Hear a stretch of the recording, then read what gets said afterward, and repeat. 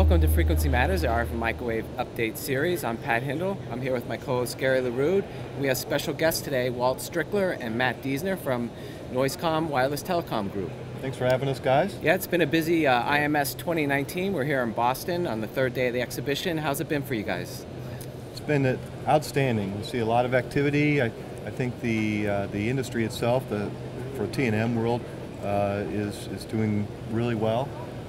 5G uh, is obviously driving a lot of things, but the radar world continues to to push uh, requirements. So it's been very good for us. My activity has been around the over-the-air testing in the 5G millimeter wave noise figure. So we've had a good activity in that, and it's been very interesting and finally getting traction. As we can see that it's going to move from the uh, research and development area, and you hear a lot of production capability coming out of that. So you guys have been involved in applying noise for low-cost measurement techniques. Uh, what is the newest in that area of application? One of the things that we've announced at the booth is the millimeter wave seems to be getting a lot of traction. Gary came on over and we talked about our new uh, millimeter wave device, 50 to 75 gigahertz. So that's been uh, getting the traction, and we've had some good activity on that, especially when people are going to do the noise figure and over-the-air noise fig figure for the Y-factor methodology. So we're getting some good activity there. And another area that we're actually applying noise for noise figure is in the over-the-air chamber, applying two ENR values that we can use so the device under test actually gets to see two different values with a separation of the ENR, and we can do that in the millimeter wave. So that's been getting a lot of traction and making headway on that. So, Walt, one of the things that I've found interesting, of course, the world we live in is getting more and more complex with modulation schemes and so forth. And amplifier linearity is key in trying to preserve that in the actual system. And I think you guys have a pretty elegant approach to that. So talk a little bit about that. Well, yeah, well, thanks. So what we've seen is traditionally things like IP3 and third order intercept have been used as the measure of an amplifier linearity. And what we found is because of the demands now in the higher modulation schemes, that that's not sufficient anymore. Right. IP3 really, it's, it's two tones. And today's uh, LTE, 5G are thousands of subcarriers. Mm -hmm. And so because of that, you need, one, a real world signal to put in it and not just two tones. So working with our, our sister division Noisecom, we use the noise to simulate a an OFDM signal. And then what we do instead of uh, third order intercept or even a noise power ratio is use crest factor. And you put your input signal in and you look at the crest factor of that and then you look at the output of the amplifier.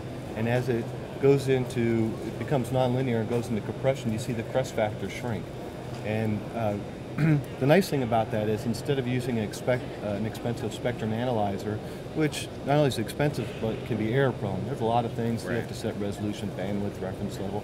You can use a simple peak power meter and now get uh, very good measurements that really are more real world um, based than a, a, a two-tone measurement in the past. Yeah, that's a really elegant solution, I think. Oh, thank you. Yeah, so we've, we've, we've gotten a lot of attention. A lot of the amplifier manufacturers are now starting to recognize it. We see it sh showing up in their, their technical papers and their technical reference guides. And so you guys have been involved in 5G too, you mentioned that. Can you tell us what you're doing in that area? One of the things that um, I have been focusing on is a lot of the over-the-air testing for 5G. Your magazine article in March, the cover issue that you did, uh, you had a lot of people contribute to that. And one of the things that I did find out, and we had a discussion about, was all the measurements that you're hearing about are all either single tone, average power. Our philosophy has been coming in from this production area that you need to use real world signals, as Walt had mentioned. And one of the things that we are stressing, that we are seeing in this 5G arena, is that we're going to be pushing in a production environment testing real world signals. That's the noise, where we are doing crest factor, peak to average, we're using OFDM like signals with very wide bandwidths to stress the device under test. The other thing that and complementary is using the noise, uh, the power sensor to measure these OFDM signals because it is really a key factor of measurement. And that's what the point we're trying to get across is that you're using real world measurements, signals, and then the measurements in the crest factor, and that correlates for the 5G. And we have a nice, simple methodology to use this. It's proven technology, noise figure, calibrations of VN, uh, VNA spectrum analyzers. So now we're just taking it to the next level, making testing simple, affordable, and fast with ma- uh, free- matters, with measurements that really matter.